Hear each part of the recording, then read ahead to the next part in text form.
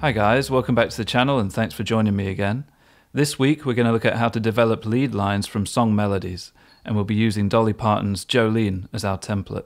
This is a melody that I'm sure most of you are well aware of and it's gained some extra popularity lately, partly due to Beyonce's awful version of it. So if you're coming here from hearing that version, I do recommend checking out the original Dolly Parton version. So I've made a backing track for this one, which will be provided in the lesson materials of course, and we'll be sticking with the original key of C sharp minor. Now in terms of our approach, we're going to use a mixture of elements. The chord progression contains three chords, C sharp minor, E and B. So we'll be using a mixture of the C sharp minor pentatonic and blues scales, as well as the triads and arpeggios for the chords themselves, so the C sharp minor, the E and the B. So unusually, let's start with a little bit of tone talk. I'm using my Nachocaster of course. This is a very traditional telly build with nice low output pickups. I'm on the middle position to start with for that really glassy, high clarity kind of tone. And I'm running into the Cornerstone Gladio overdrive pedal with the gain set pretty low and the dry signal blended in a little. That's then going into the Strymon Deco for a very small amount of slapback delay. That then goes into the Strymon Flint for a bit of reverb and trem. The amplifier is my Lazy J20, it's a tweed style amp, really good bass tone for adding pedals to. And this is all being recorded into Logic Pro via the Universal Audio OX Box. So for the most part we're letting the intro speak for itself, but we are going to announce ourselves with a couple of tasty little phrases. The first one is this. If you've seen my other videos, you'll recognize that phrase, I'm sure. We're thinking C sharp minor blues scale, taking the top three strings and barring the minor triad there at the ninth fret.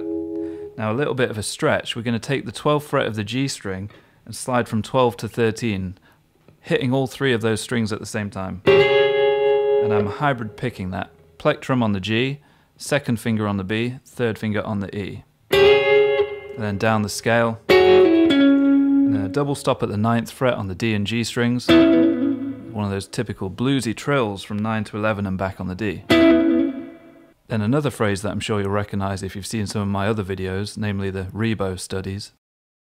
This is the C sharp minor chord again, we've got the minor third, and we're adding the second or the ninth degree of the scale with that to create that clashing effect. Then we come down to the root there, and then we're staying within this C sharp minor chord shape, hammering on from the flat 7 to the root on the G string while remaining on the 5th fret of the B. Again, I'm hybrid picking all of these double stops, plectrum and second finger. And then down the minor pentatonic scale. And the melody officially kicks off there on beat 1. Now remember that the whole idea here is to use the melody of the tune as a building block for our lead lines and improvisation ideas. Course, to be able to do that, in the first place, you've got to know the melody itself. So we start by just quoting the opening line of the song. And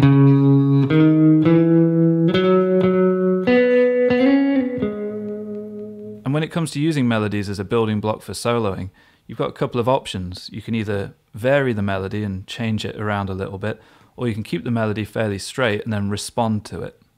We're going for the latter to begin with this mm. little response here over a B major chord. I'm visualizing this B major triad. String set 2, second inversion. Now I'm moving that same triad to the next string set. Strings A, D and G. And we're going to do one of these nice country bends. Where we bend the G string a semitone by pulling it down and then releasing it. And a couple of notes for the melody before going to a C sharp minor with another country kind of double stop sound. Taking the ninth fret of the B string, adding the eighth fret of the G string, and bending a semitone so we end up with a C sharp minor triad. Then play the C sharp root note at the sixth fret of the G string.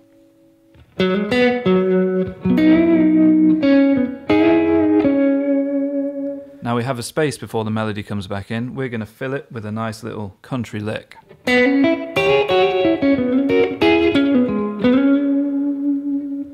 So again, I'm using triads as my navigational tool with that. I'm thinking of this C sharp minor triad here, and then this one here, before finishing up here.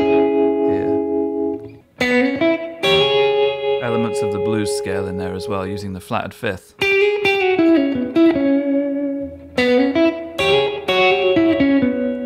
Double stops, hybrid picking again. And then we slide along the D string, 9 to 11, grab a double stop at 11 on the G and B strings, bounce back to the root, double stop at double 9, and then down the minor pentatonic.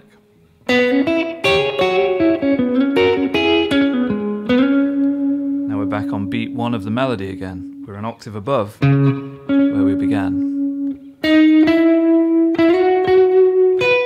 Some bends to access the melody this time. Makes it sound a little more vocal. And then we play the 12th fret of the B string before releasing that bend. And let the two notes collide.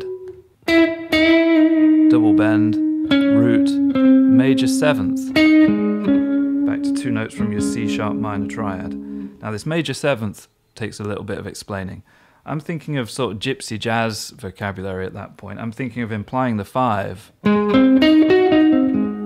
A flat seven, and bringing in the uh, major third of that chord in order to do so. You could also see it as part of a melodic minor.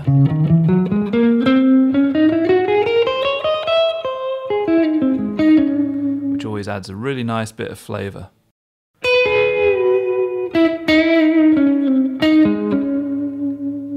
Very subtle, but really adds a bit of class to it. Now in response to that, we're just going to play a very simple blues phrase.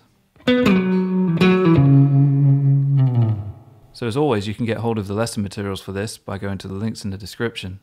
I have a Patreon where for a small monthly cost you get access to all of my lesson materials, past, present and future, or you can simply make a one-off purchase for this lesson in particular at the Gumroad link. The lesson materials as always will include tab and notation in Guitar Pro and PDF formats, as well as my backing tracks. Your support is massively appreciated and it's what allows me to keep making these videos, so thank you so much.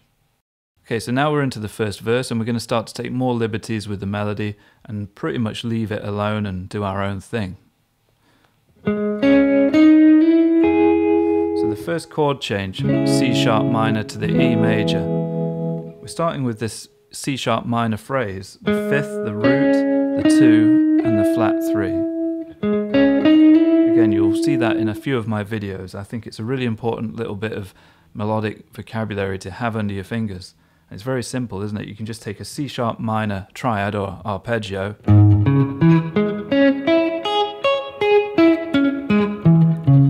And simply add the two in before the flat three each time. Very pretty.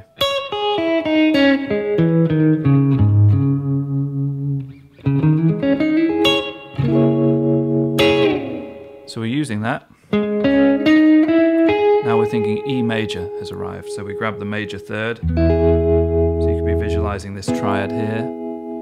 Now we're thinking of moving to B. And you can see very clearly there, part of a B major triad. So already C sharp minor to E to B. Bit of that country stuff again. C sharp minor, back to B this triad this time. Now we're staying on B for a moment, so we move up to this triad.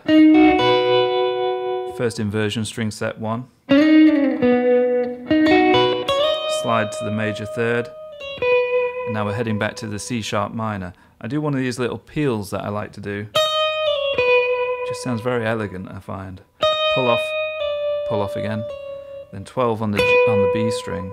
And now C sharp minor simply pentatonic. Then a blues phrase in response to that. Again with some trilly stuff. Starting in the pentatonic shape 1, sliding up to shape 2, bringing in the flattened fifth with the pinky finger.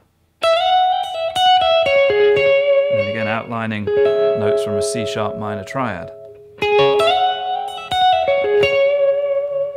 Now we take two more notes from your C sharp minor triad. I'm seeing this shape here, and I'm simply removing the middle note to create this sixth interval. Move on to the next string set, 11 on the G, 11 on the top E. These are all parts of a C sharp natural minor scale. Same thing as the E major scale, of course, natural minor and all that. So that's over the C sharp minor. Now the E chord comes back. We're just going to grab these two notes from an E major triad. Again, just visualize this first inversion shape. Remove the middle note and you've got this beautiful sixth, the third and the root. Sliding into two notes from the next E major triad, the one that looks like a D chord shape. And then the B chord comes along, and we're just going to arpeggiate the chord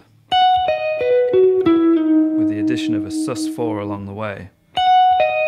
So triads, B major, next string set, sus4, sliding to the third, and then we're back to C sharp minor. So we're going to grab the root note of that B chord and give it a full step bend so it reaches the root, the C sharp note. And then we're going to go for one of those big Gilmour bends but without repicking.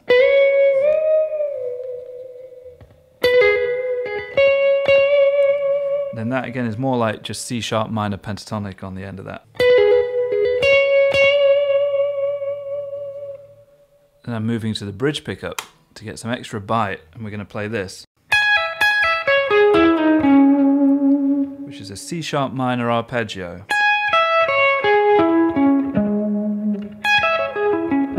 But again with the addition of that note we spoke about earlier, adding the 2 in. Just there, pulling off from the flat 3 to the 2. And then a little run up back to the melody, because we're on top of the chorus again. So just like the previous chorus, here we're going to be a bit more direct with our quoting of the original melody. And again, we'll be utilizing some bends, some slides, some hammer-ons and pull-offs, you know, just to spice things up a little bit.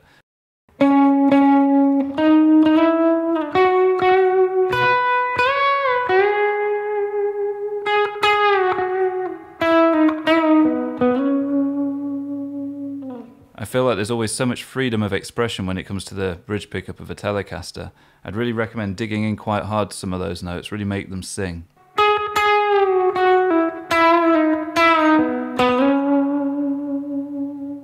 So now again we have some space between the melody lines, so we're going to interject with a little flourish of spaghetti western spikiness.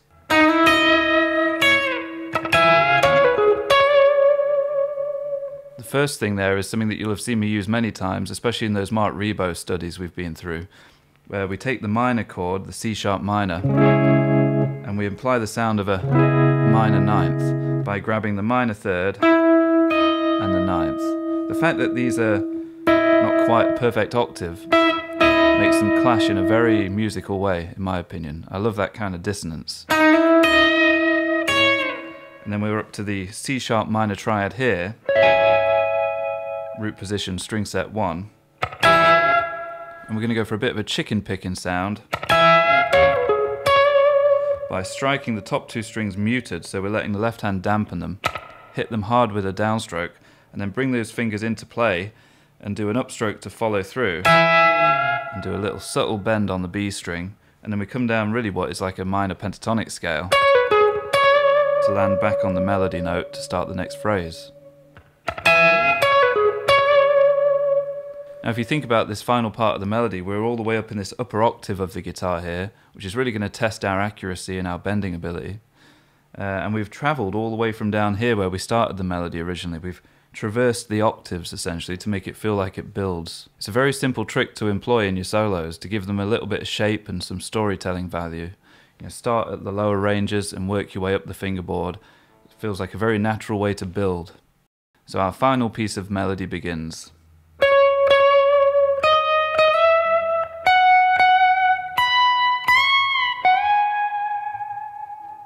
Very important that you're accurate with those bends and also be neat when you're transitioning from one string to another. You don't want to hear any accidental pull-offs. Then the final phrase, we let things slow a little bit.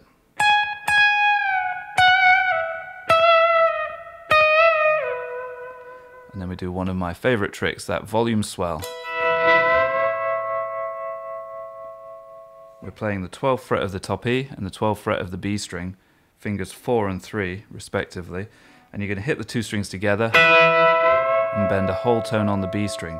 So you're ending up on the top two notes of this C sharp minor triad. and we swell the volume in to match the curve of, the bend. And we also want to be adding a lot of expressiveness on the way down to that final note. Some nice bends and some pull offs and some vibrato.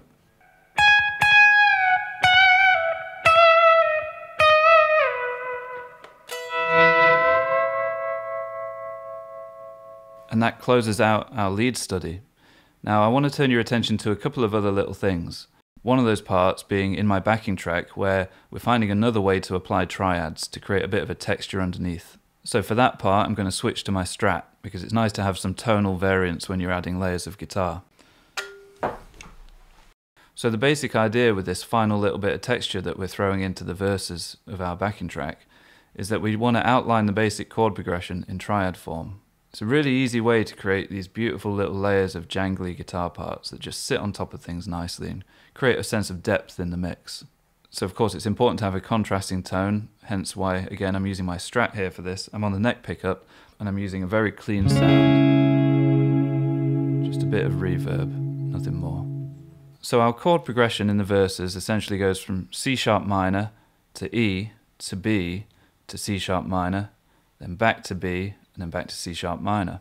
So you want to play around with plotting those things out with your triads. And to start with, I'd recommend just playing around on one particular string set each time.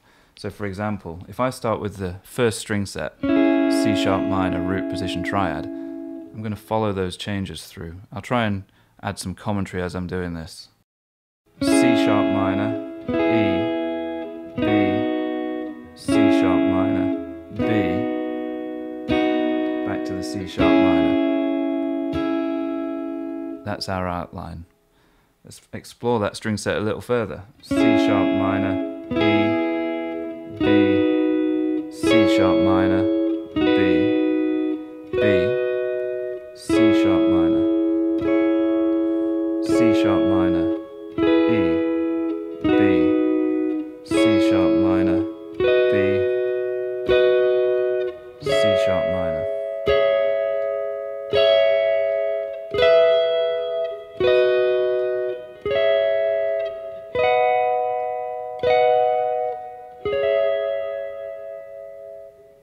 So of course now you want to do that on the rest of your string sets.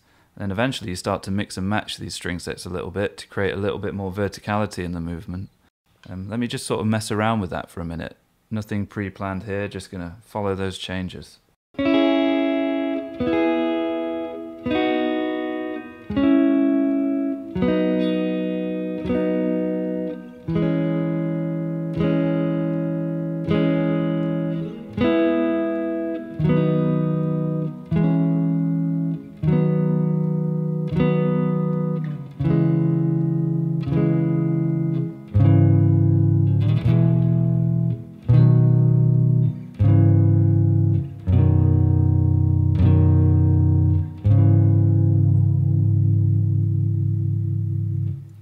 Sure you can hear the potential within that stuff to create some really interesting layers. So if I walk you through exactly what I play on the backing track in the verses, I'm starting on the second string set, moving up to the top, coming back down, moving down another string set, and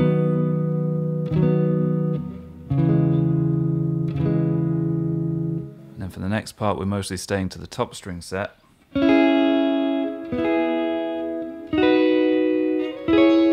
second string set. Back to the top. And again, going back to that general theme of starting low and progressing up the fingerboard. Now, if you've got a Strat or any other guitar with a tremolo arm, that's going to sound extra cool, right? You can go all Chris Isaak on it.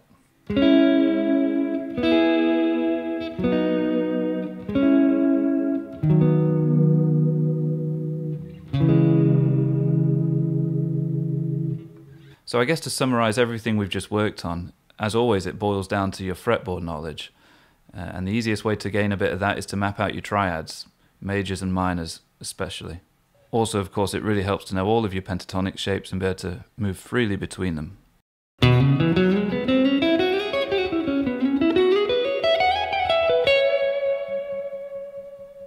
So I guess I should tell you a little bit about this guitar. This is a custom shop 56 reissue Strat in the NOS format, so no relicking on it at all. It's nice and light, it's about seven and a half pounds, and it has my favourite type of pickups on there. Very low wound 50s style pickups. These are not the ones they call the fat 50s ones, these are the, the next lower wind down from there, simply called custom shop 50s. And this guitar is very vintage accurate, you know, it's a vintage radius, 7.25 inches, uh, and it's got very narrow and low frets. And a chunky neck that's very similar to the Nacho, in fact. It's a 1056 Fender call it. It's a soft V progressing out to a sort of a more of a C shape. Very chunky but feels very good in the hand.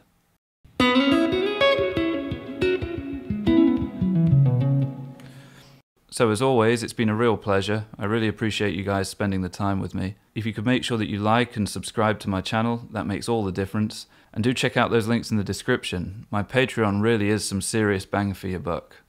Alright, guys, so I'll see you at the same time next week for something completely different. Alright, take care.